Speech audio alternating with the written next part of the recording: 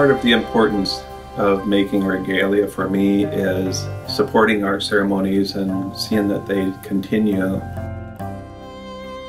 It helps me to feel like I'm healthy and whole.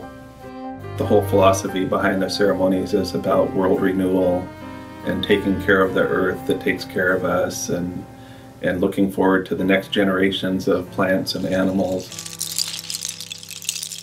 As the regalia moves, that makes a, a sound that keeps time with the song and the dancing, and it, and it adds to the whole um, experience of the dance. It inspires the dancers, it uh, inspires the singers, it inspires the audience who are there not only as attendees but also as participants. My name is Robert Kentta. I'm an enrolled member of the Confederated Tribes of Siletz Indians.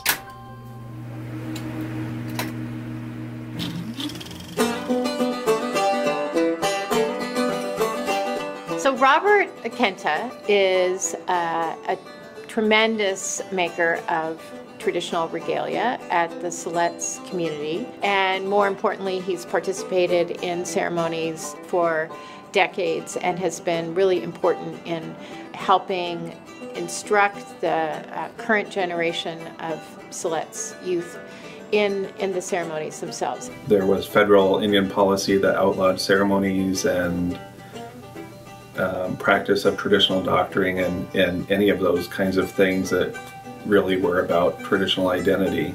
He, with other members of his generation and the elder generation, have worked hard at not just bringing back the tribe politically and legally and in social terms, but also in cultural terms. I feel a strong responsibility to carry on these things and to maintain them so that um, that identity can continue and work towards restoration of, of um, individual members in our, our overall group identity as the Confederated Tribes of Siletz Indians. These things just don't automatically happen. People have responsibility to make sure that they happen. Part of that is making regalia.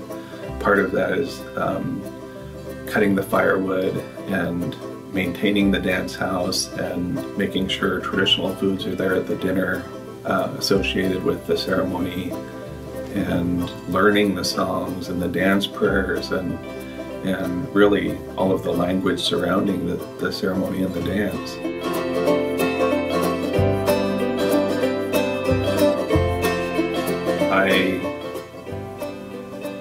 Hope and expect that uh, a lot of the things that I make will far outlive me and and uh, that's a comfort to me to know that that uh, I'll be contribu- contributing to our ceremonies even after I'm gone.